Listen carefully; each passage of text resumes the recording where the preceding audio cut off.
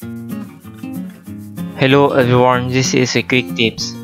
If you want to make move like this and move mechanism use this link, you can use Cam Mate, but the results are not satisfactory, like this.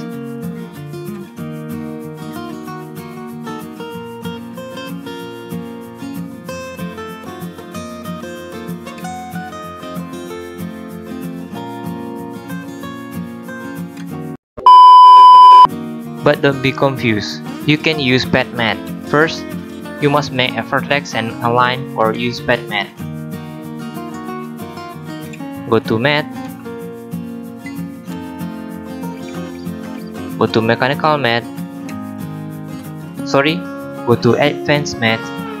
Choose Path Mate. Click this point for vertex parameter. Active Selection Manager Click this line for pet parameter.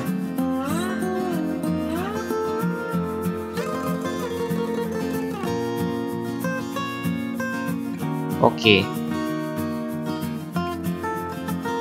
See, the mechanism is made it. Now you know how to use Path Mate to make a mechanism.